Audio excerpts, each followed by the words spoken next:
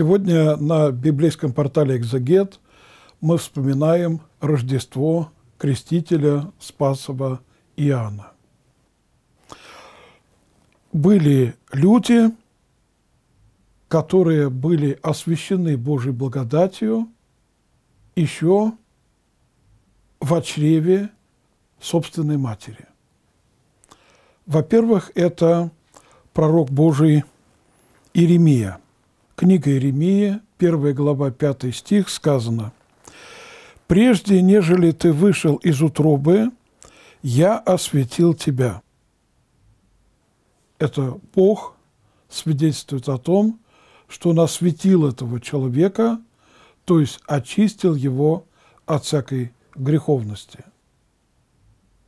Также это сама Пресвятая Дева Мария, хотя она была зачата как любой человек, и православная церковь учит, что на ней был первородный грех, но так как она считается выше ангел, архангел, херувим, серафим и выше всех людей, значит, она тоже могла пережить освящение в очреве своей матери. И мы знаем, что когда Архангел Божий Гавриил является к Деве Марии, Евангелие от Луки 1.28, он прямо говорит ей «радуйся, благодатная», более правильно «радуйся, полная благодати, Господь с тобою». Возникает вопрос, а когда она исполнилась благодати – и так как мы празднуем ее Рождество, значит, освящение ее происходило в чреве ее матери. И второе Рождество, которое мы празднуем, это Рождество Иоанна Крестителя. И это связано с тем, что он был освящен тоже в чреве своей матери. Про Иоанна Крестителя прямо сказано – 1 глава 15 стих Евангелия от Луки, что он Духа Святаго исполнится еще от чева матери своей. Это было пророчество о нем.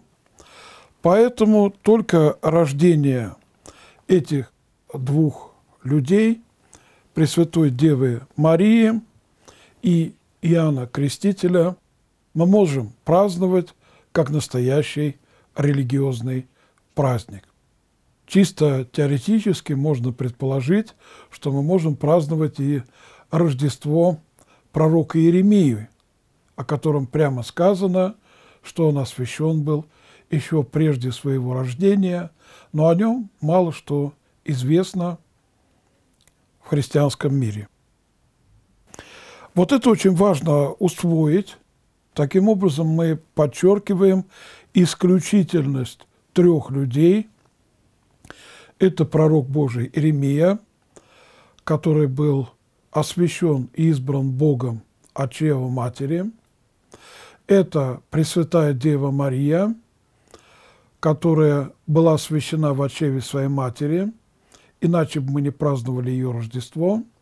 И это Иоанн Креститель, о котором прямо было сказано, что он будет освящен Духом Святым еще до своего рождения. И так как это произошло в жизни этих трех людей, это исключительное обстоятельство, то мы празднуем их рождение.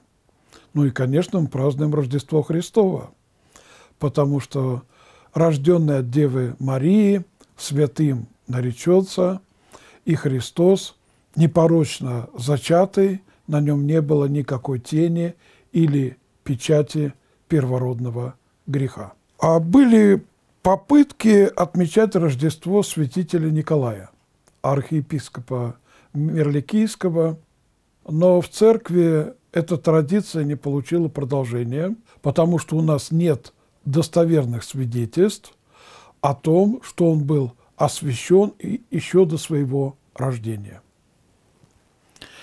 И э, сейчас мы открываем Евангелие от Луки, где рассказывается о возвещении рождения Иоанна Крестителя и о том, как все это происходило.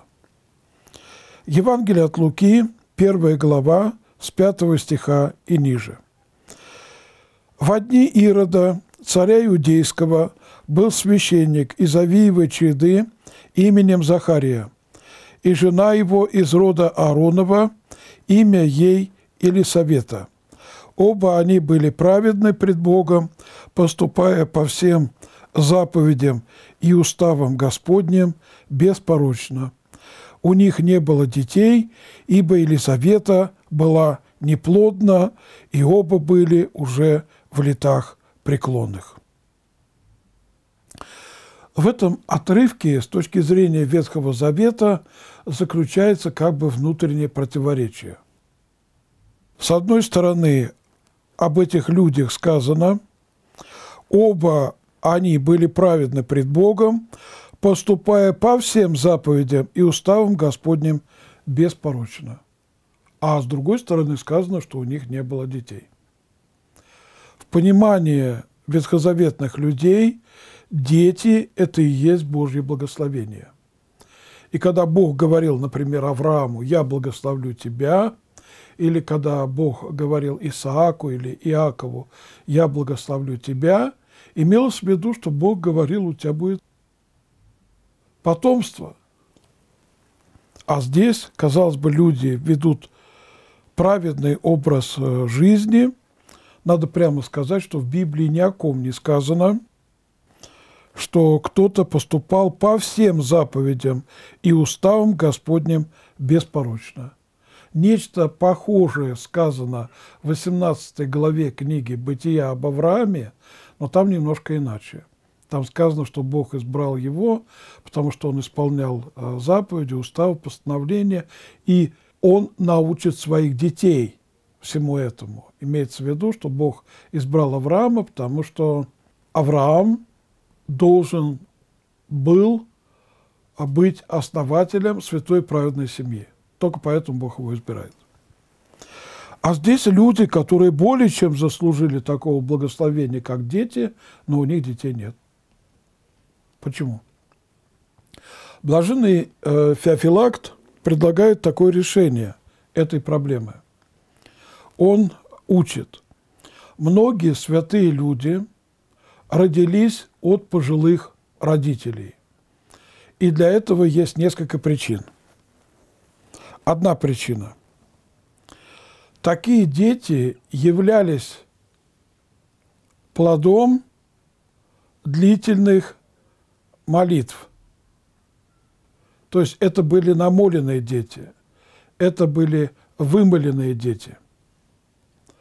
И другая причина – святые рождались от пожилых родителей. Имеется в виду, что если бы святые зачинались бы от молодых родителей, то им сообщалась бы страстность молодости через эту горячую кровь. А так как они э, зачинались от пожилых родителей, то страстность молодости не передавалась, потому что древние считали, что кровь пожилых людей, она менее горячая, и те, которые рождаются от них, они менее склонны к какой-то страстности.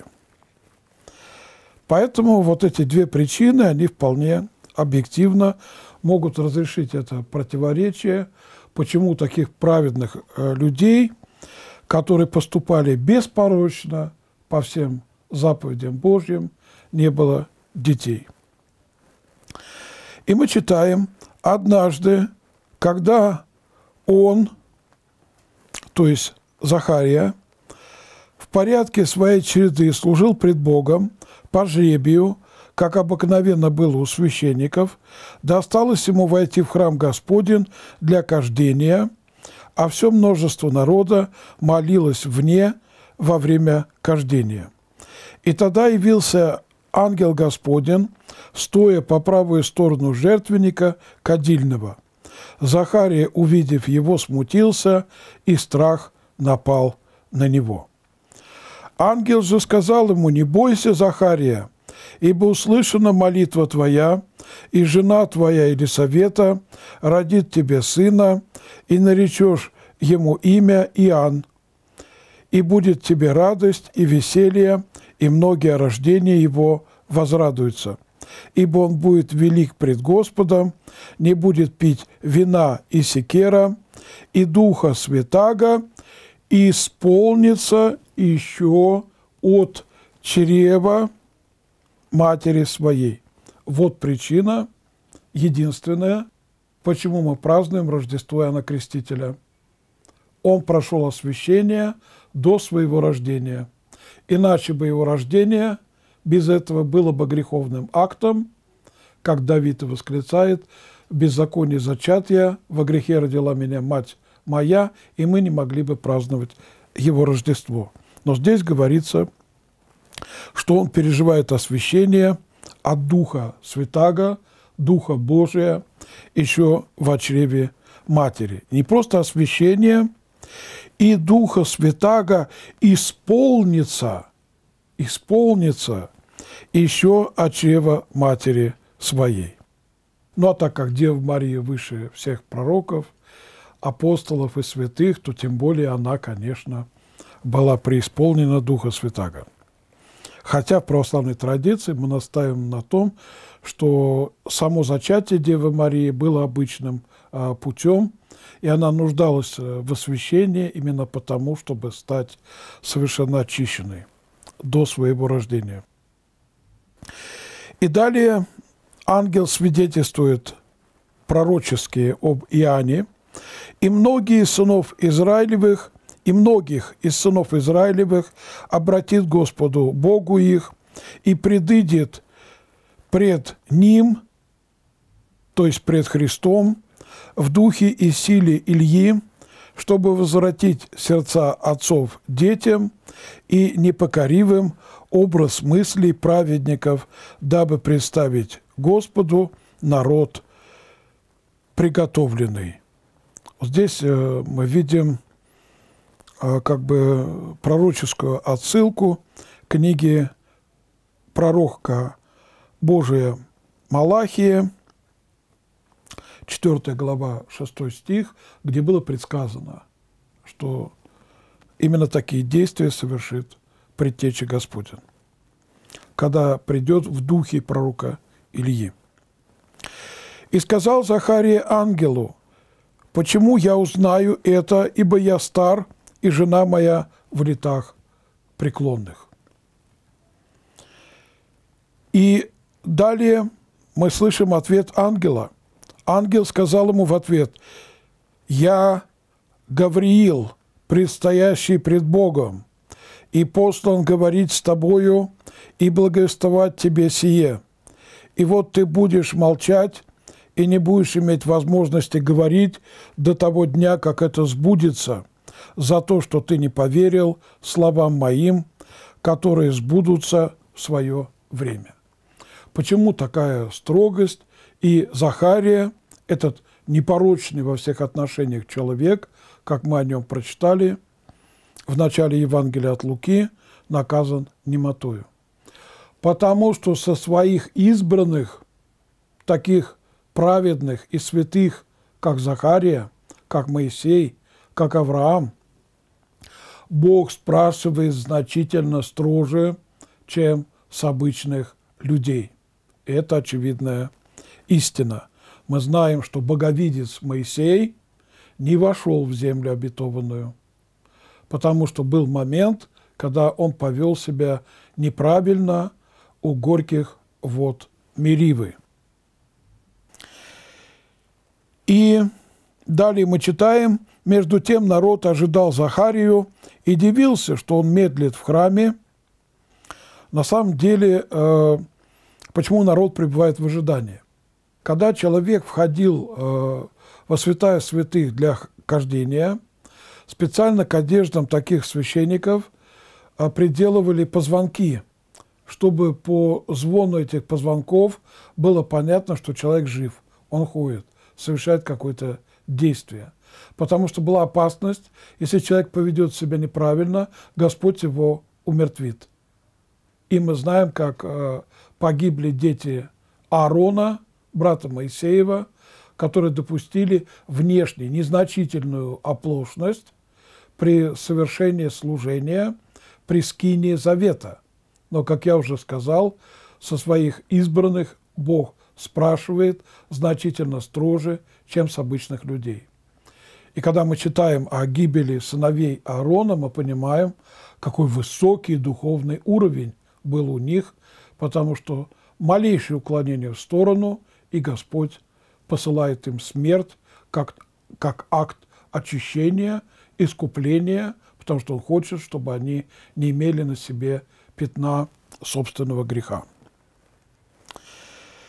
И, скорее всего, когда Захарий беседовал э, с ангелом, он не двигался, и не было слышно звука этих позвонков. Между тем народ ожидал Захарию и дивился, что он медлит в храме. Он же, выйдя, не мог говорить к ним, и они поняли, что он видел видение в храме.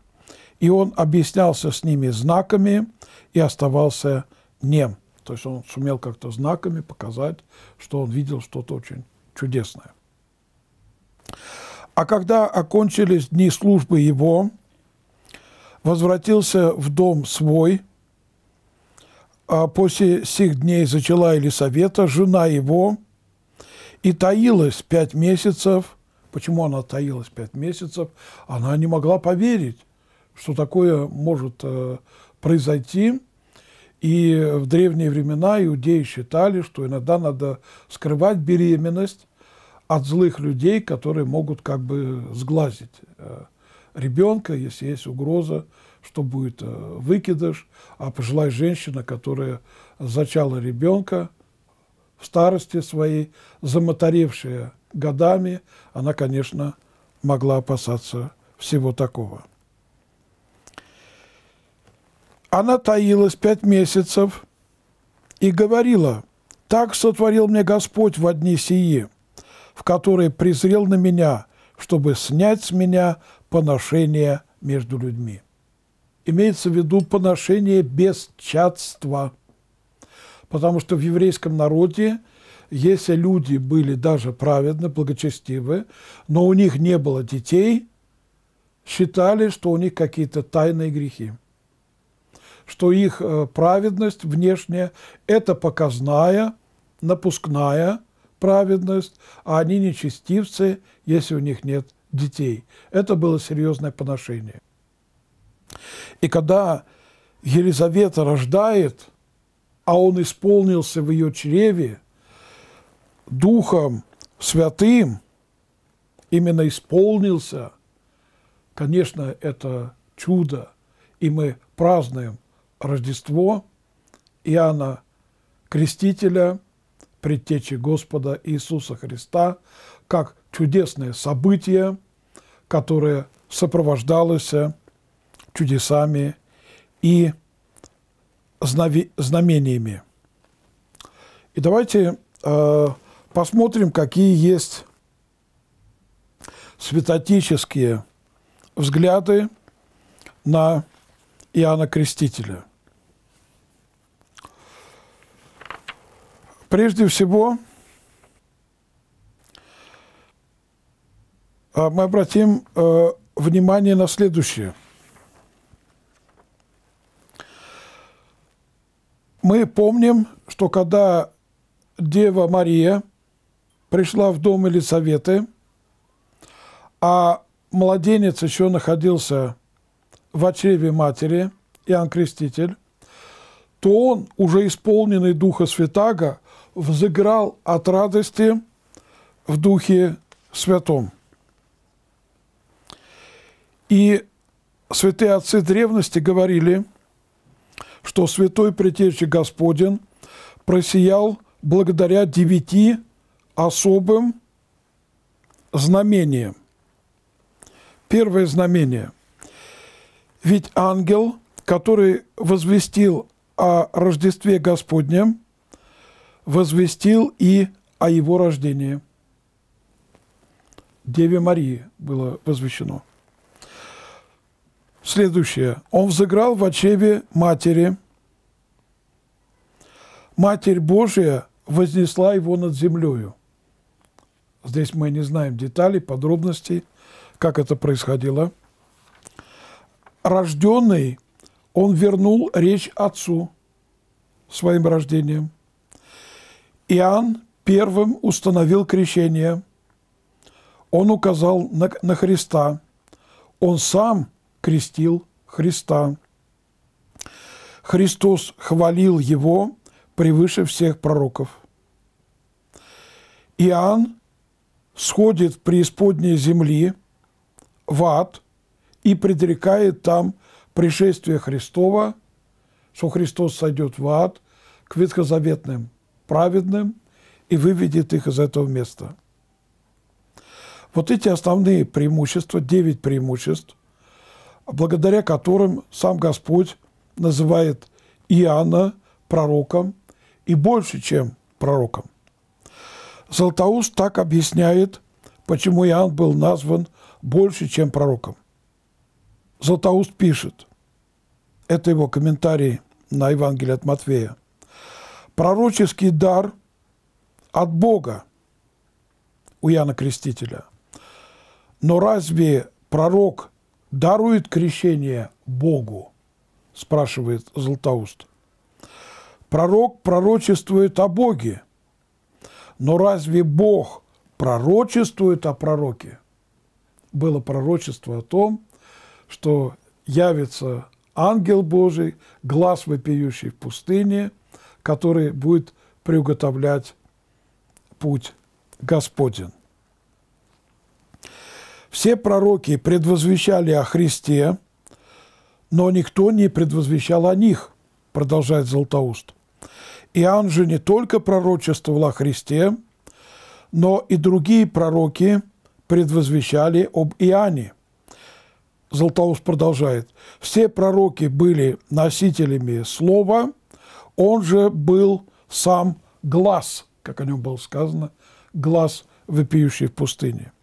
И насколько глаз подобен слову, но не есть слово, настолько Иоанн близок ко Христу, но не есть Христос. Конец цитаты – это то, что Златоуст свидетельствует об Иоанне Крестителе. Святитель Амвросий Медиаланский называет пять причин для прославления Иоанна Крестителя – он настаивает на том, что Иоанн Креститель, предтеча, прославлен благодаря родителям, нраву, чудесам, дару и проповеди. И действительно, проповедь о Царстве Небесном, что оно приблизилось, начинает Иоанн Креститель. И когда он замолкает, когда его взяли в темницу, и он был казнен, Христос как бы принимают эту эстафету и тоже проповедуют о Царстве Божьем. Почти все притчи Иисуса Христа связаны с той темой, которую начал озвучивать Иоанн Креститель. Получается, что во всех смыслах Иоанн был предтечей Христа. Он первый рождается раньше Христа – он первый выходит на проповедь, первый начинает проповедовать о Царстве Божьем, эти теократические принципы, первый подвергается преследованию, первый умирает за свое исповедание, первый сходит в ад и там проповедует о Христе. То есть он настоящий предтеча и как на берегу Иордана он проповедовал, что придет тот, у которого он недостоин, нагнувшись развязать ремень его обуви, так и сойдя в ад, он проповедовал тоже.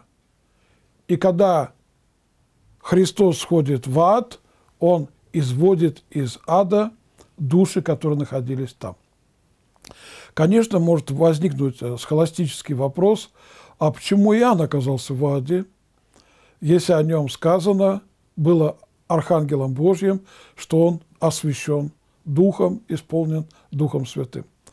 похоже, единственная причина, по которой он сходит в ад, чтобы проповедовать там приближающееся схождение Христа в ад.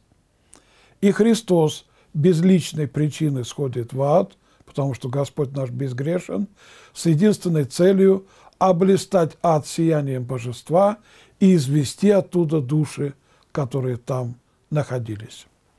Иоанн Креститель – это особый Божий избранник. И о нем ангел Божий, архангел Гавриил, засвидетельствовал Пресвятой Деве Марии. Это первая глава Евангелия от Луки, 36-37 стих. «Вот и Елизавета, родственница твоя, называемая неплодную, и она зачала сына в старости своей, и ей уже шестой месяц, ибо у Бога не останется бессильным никакое слово. И у Бога не осталось бессильным никакое слово. Иоанн рождается в этот мир, как предтеча Христа, как бы приветствуя рождение в этот мир Христа Спасителя. Теперь, давайте обратим внимание на то, какие наименования существуют Иоанна Крестителя. А он называется пророком, он называется в притчах Иисуса Христа другом жениха. Он называется светочем, ангелом, глазом, Ильёю, потому что он пришел в духе и силе пророка Ильи, крестителем Спасителя, предвестником суда Божия, ибо он сказал, что Христос отделит одних от других и нечестивых сожгет огнем неугасимым. И он действовал как предтеча царя, который настаивал на достоинстве Христа как царя царей словами, что я недостоин даже развязать ремень обуви его. Мы вспоминаем это Рождество, это исключительная ситуация, как и чествование Рождества Девы Марии. Это связано с тем, что эти два угодника Божьих сподобились освящения от Духа Святаго еще до рождения. Я всех поздравляю с этим э, праздником Рождества Иоанна Предтечи. У меня есть для этого еще и личное основание, потому что храм, в котором я служу, в честь Рождества Крестителя Спасова Иоанна. И завтрашний день а, будет служба праздничная. Если у кого есть желание присоединиться к этому торжеству в нашем храме Рождества Крестителя Спаса Иоанна, приходите и вместе отметим это событие. Друзья, чтобы вам вовремя получать э, беседы о приближающихся праздниках и э, вовремя узнавать о том, какая очередная беседа по книгам Священного Писания выходит на библейском портале «Экзегет». Подписывайтесь на библейский э, портал. Очень важно, когда накануне праздников получаете какую-то информацию о празднике. Когда исследование Писания не прерывается, а осуществляется со всяким постоянством. Как и сказано в книге «Деяний святых апостолов» о некоторых благочестивых мужах. Эти были более благоразумны, и они каждый день собирались и смотрели по Писанию, точно ли это так. Спасибо всех, Христос. Крестителю Спасов Иоанне, моли Христа Бога, спастись душа нашим. С праздником!